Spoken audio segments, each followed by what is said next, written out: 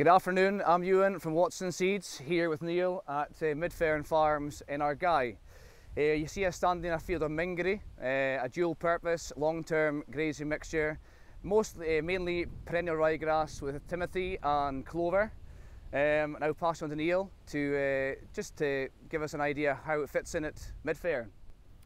Hi there, we've been using Mingary for several years now. It's a very good dual purpose grass for cutting silage two times if possible and also a very good grazing grass through the winter time. Um, we currently run 100 head of Aberdeen Angus cross cattle. Um, store cattle go through Dingwall, um, all finished on grass, then on to obviously silage. We ran 650 ewes which are lambed in by on fields as you see here in the springtime going forward through the summer.